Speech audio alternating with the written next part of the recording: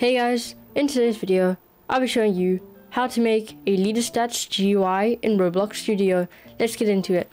So the model will be in the description and let's get into it. So insert a script into ServerScriptService and rename it what you want. I'll just say leader stats script. So now this is just gonna make the leader stats. So rename the like uh, cash to whatever leader stats you want. So follow along with me.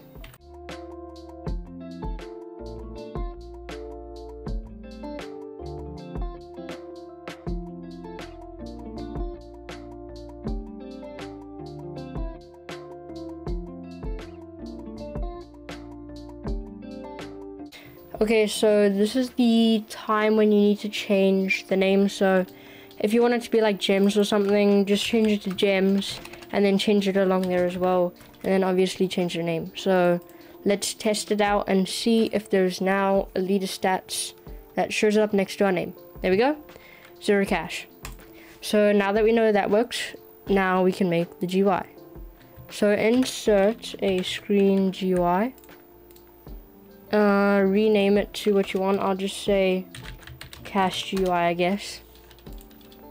And then you can customize it as you want. Just make sure that you've obviously got a button. Let me just add a UI stroke. And add UI corner. So right now I'm just making it look nice.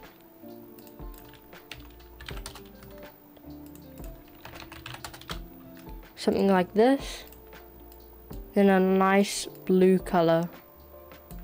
Something like that. And then thickness. Five yeah that looks nice. Oh wait it needs to be a text label sorry. Because you don't want to be able to click on it. So let's just drag that into there. Boom and then just say like cash then put a colon I guess.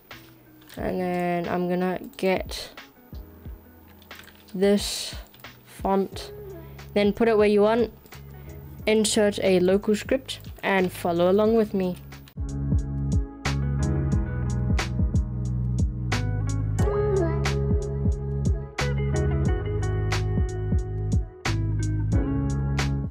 Okay, there we go. That's the script. So obviously change this to the name of your leader stats and then that again.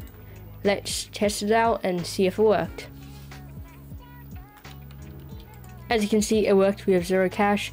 And to change the cash, it's best to click on current client and then go into your player, change it there. So I'll do like 1000, current server, boom, changes to a 1000. So yeah, that is it for today's video. Bye guys.